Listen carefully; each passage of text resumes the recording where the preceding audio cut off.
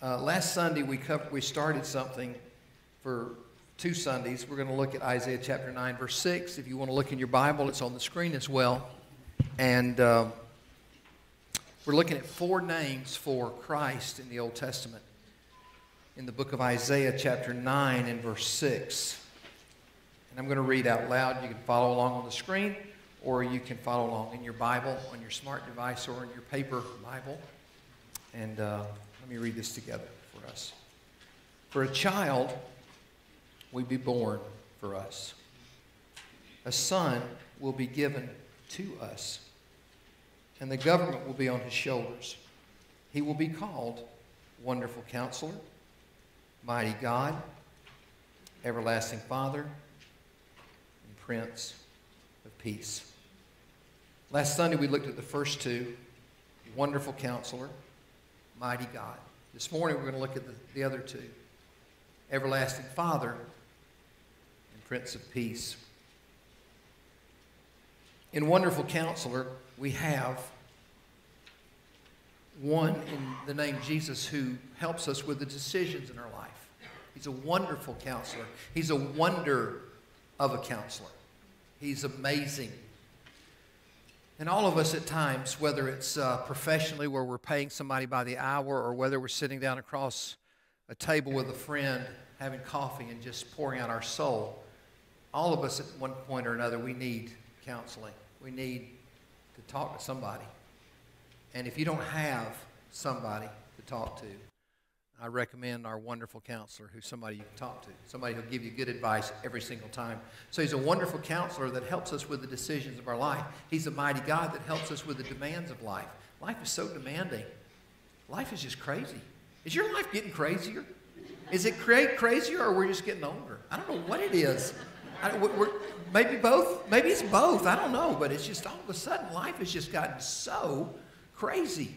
And yet, in the craziness, we have in Jesus the mighty God who can help us with the craziness and with the demands of our life. This morning, we're going to look at the everlasting Father or the Father of eternity and the Prince of Peace. Now, let me give you a little background.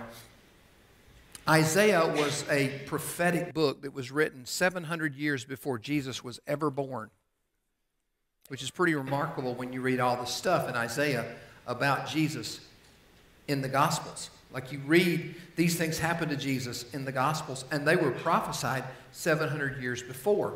Prophecy is the writing of history before it happens. And 700 years before uh, Jesus was ever born, God told Isaiah, write this stuff down.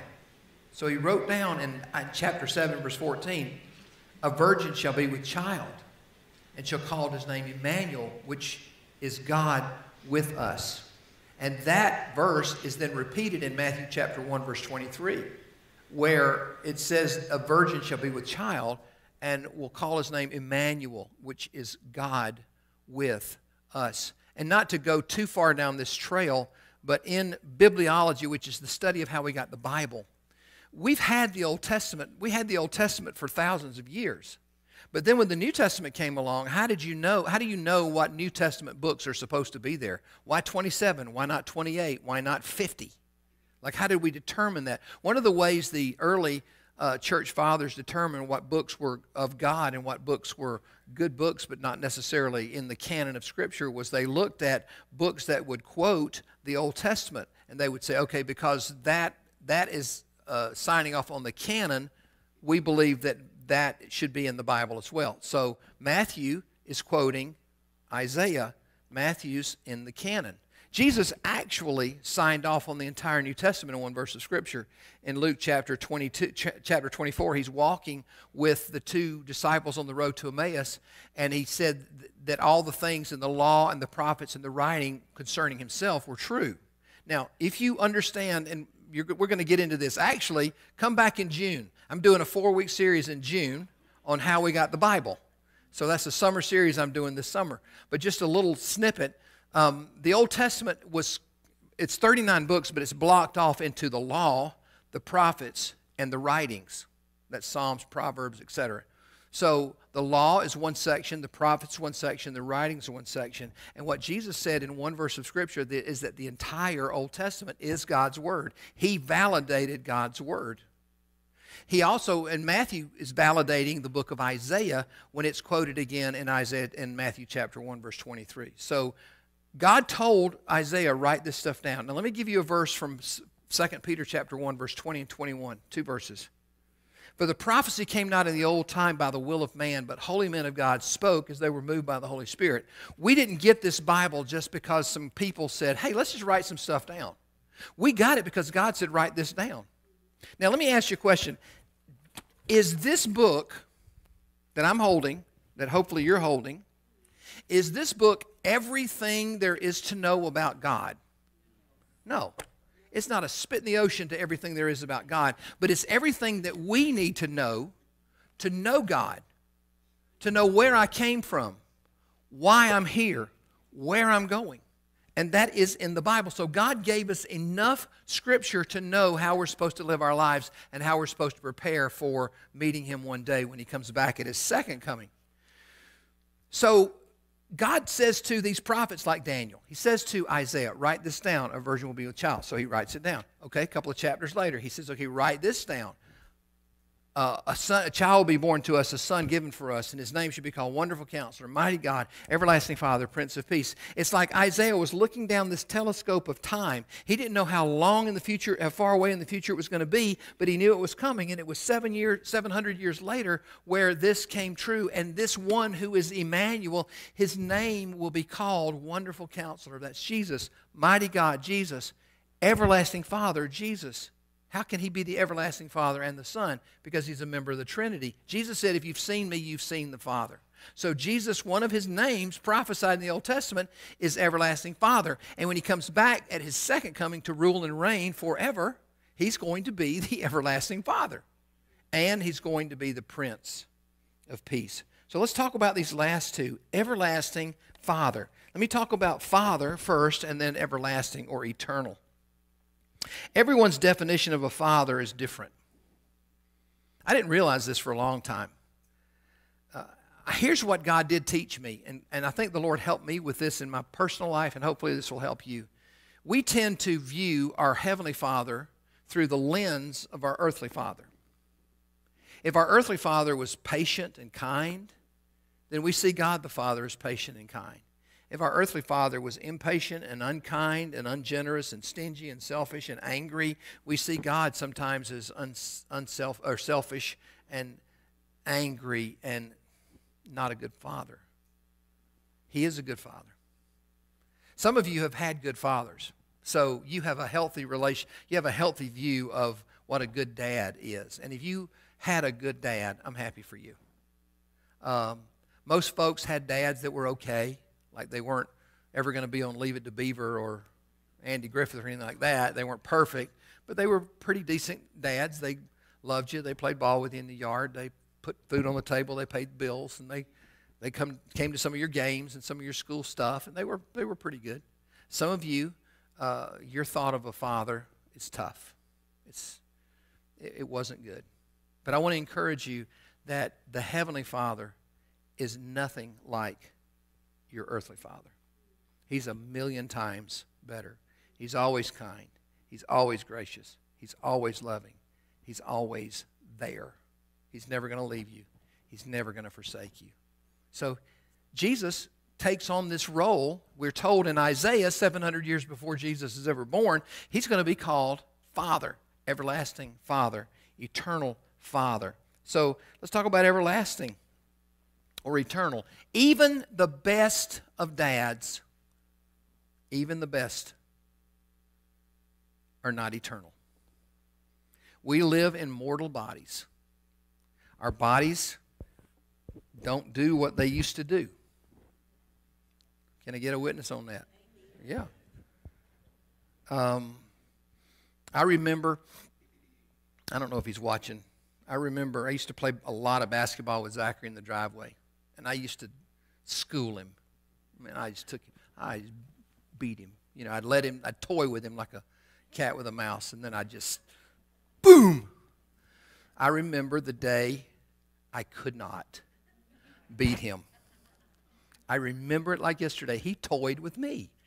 Like, I don't know what happened, but it was payback. Like, I couldn't drive to my right. I couldn't drive to my left. I couldn't shoot over him. I couldn't go under him. He's just toying with his dad. And so after we finished playing that day, I said, You know, let's go golfing next time. Let's go, let's do something else. Let's do something else. Even the best of dads and moms are not eternal. We get older. Um, and God, in His wisdom and in His grace, we look after our kids, and then they look after us. That's the way it's supposed to be. Even the best of dads are temporary and limited, limited in their health, limited in their resources, limited in their time. They can't be what the Heavenly Father is, they're not eternal. Now, if you know the Lord and they know the Lord, you're going to see them again in heaven, but it, they're not forever. I know, I know many of you miss your dads and your moms and wish they were here. And you'll see them again, but they're not everlasting. Jesus is everlasting. The Reformation Study Bible refers to this verse and says that the definition here of everlasting Father is there is no need for a successor. Like there's no need for a stepdad. Well, dad died, so mom's remarried, so I got this stepdad. He's a pretty good guy, but he's not dad. There's no need for a stepfather when you have Jesus as your father. We learned this in our study of Daniel, chapter 2, verse 44 says, The God of heavens will set up a kingdom that will never be destroyed. Daniel 7, an everlasting kingdom. Colossians chapter 1, verse 16, for everything was created by him, by Jesus, in heaven and on earth, the visible and the invisible, whether thrones or dominions, rulers and authorities, all things have been created through him and for him. He is the everlasting Father. And if I could wish one thing for you at Christmas, is that you truly know the wonderful counselor the mighty God, and the everlasting Father.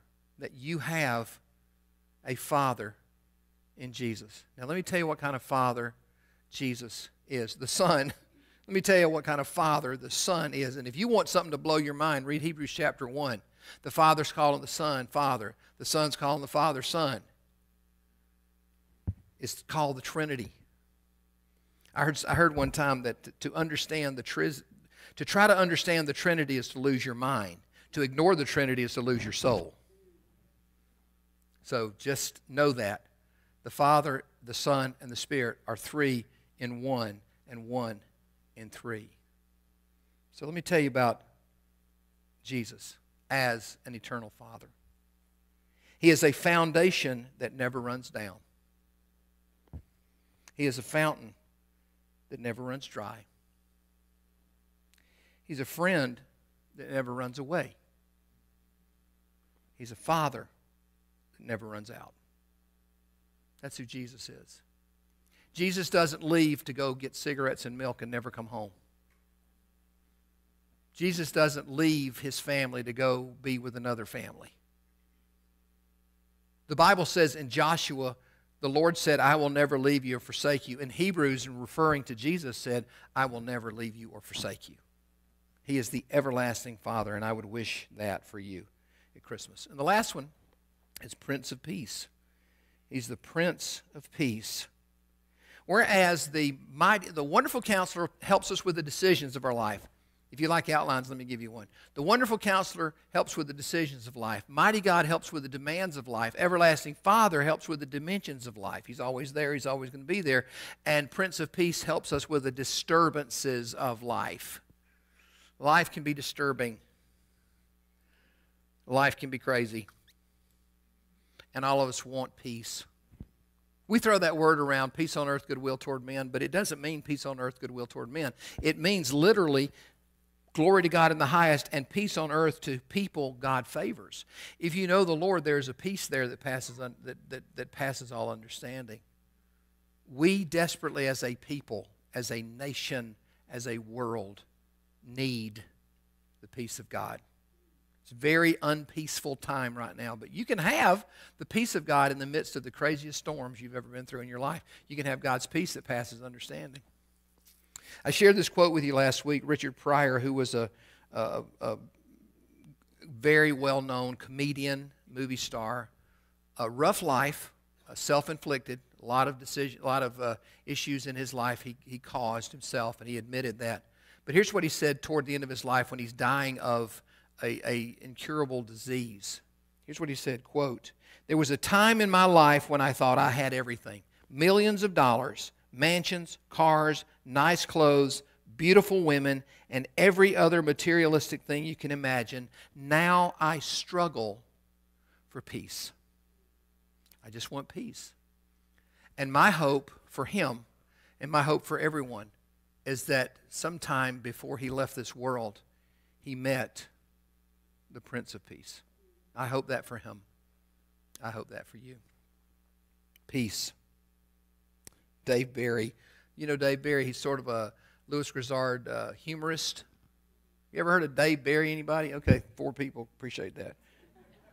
Here's what Dave Barry said My therapist told me the way to, to achieve true inner peace is to finish when I start. So far today, I have finished two bags of M&Ms and a chocolate cake. And I feel better already. End of quote.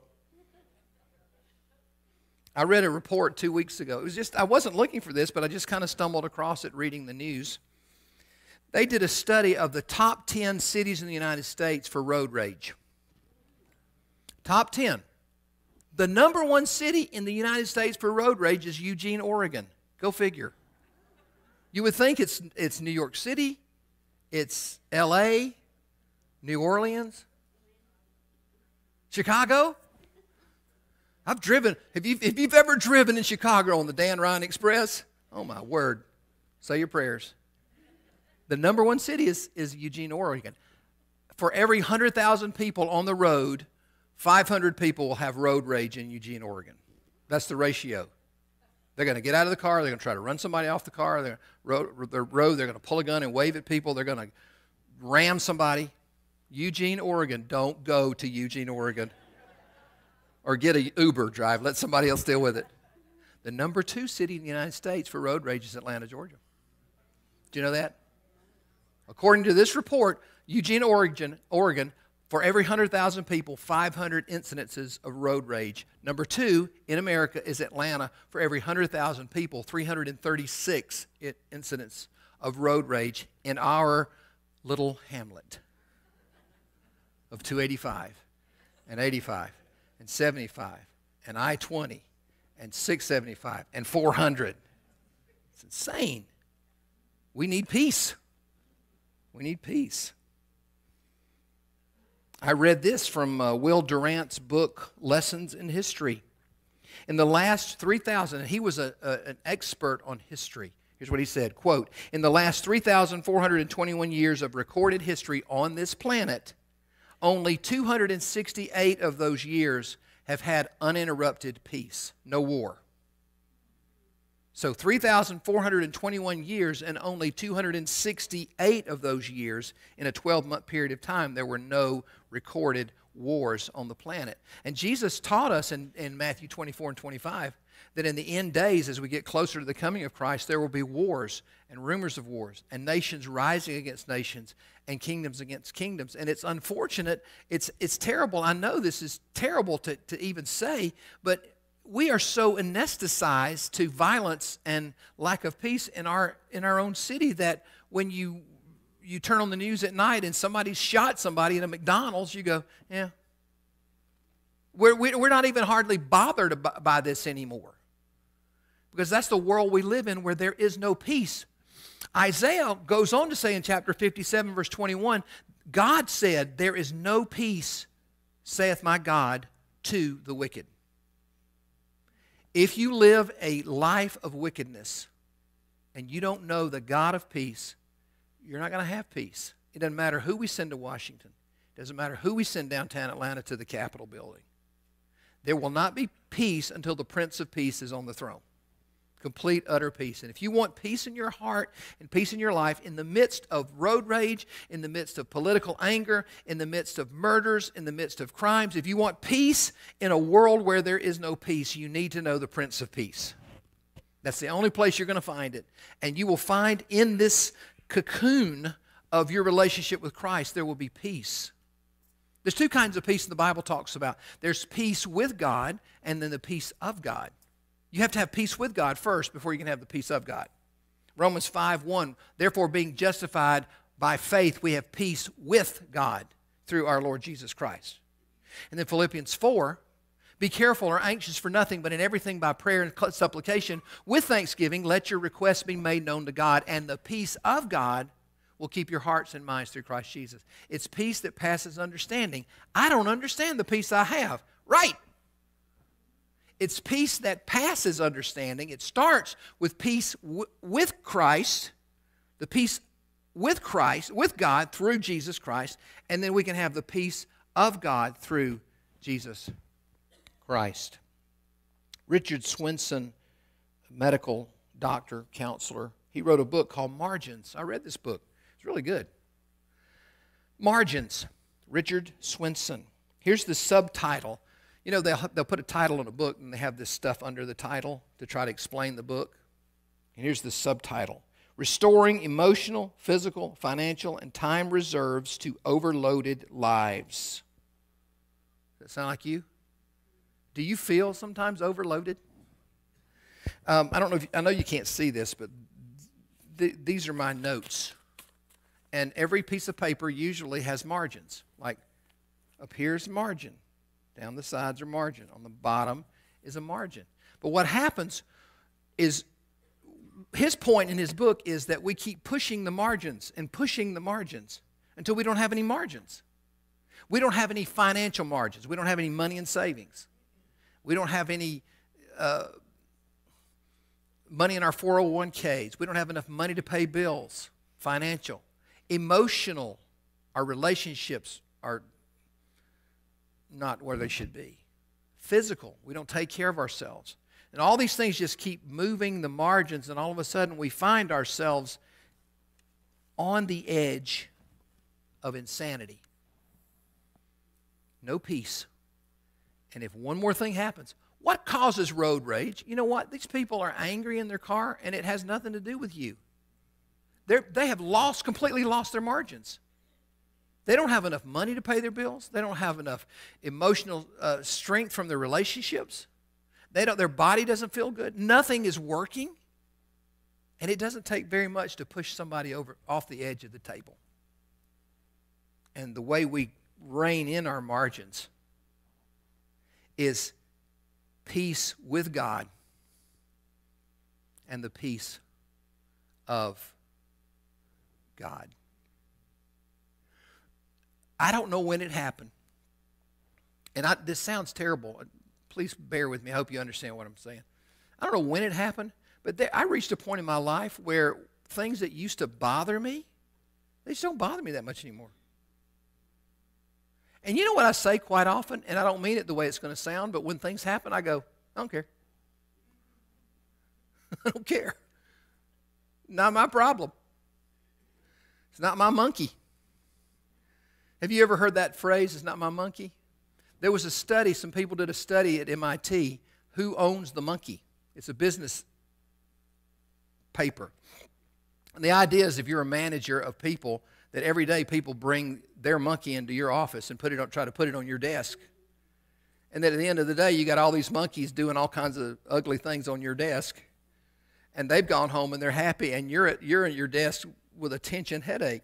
And the idea of the paper was when they bring their monkey into you, you kick it back and go, What are you going to do with your monkey? Because it ain't my monkey.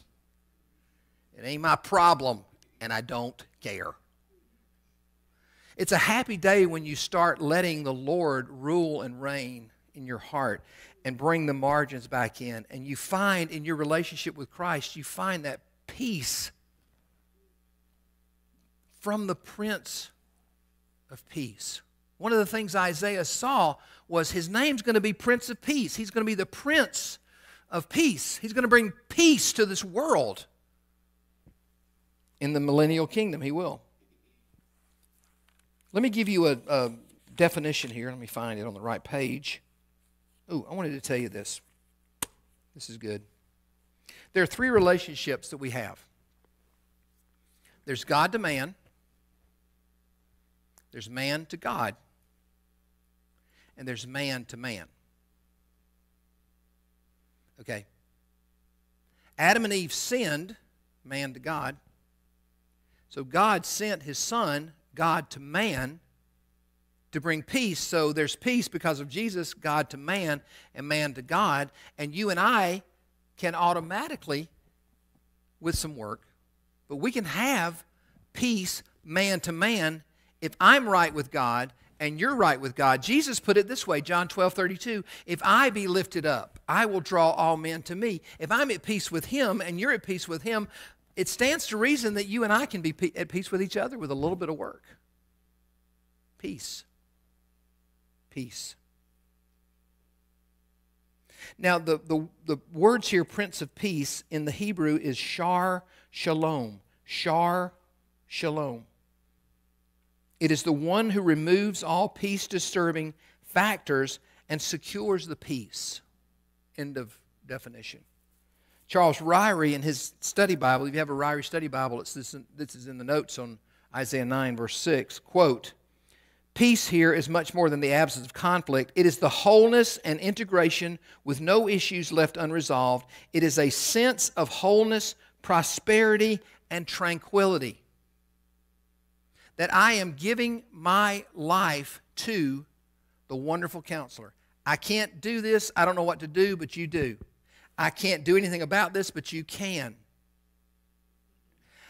I am temporary, you are eternal. You're the everlasting Father, and I cannot manufacture, I cannot psych up peace. I can't make peace happen. He can. He is indeed the Prince of Peace. For unto us a child is born, unto us a son is given, and the government will be on his shoulders, and his name will be called Wonderful Counselor, Mighty God, Everlasting Father, Prince of Peace. If I could give you anything for Christmas, that's what I'd give you. You don't need another sweater. You don't need another pair of socks. You need, I need, my everlasting Father to bathe me in this insane world we live, to shelter me, to put me in his arms of peace.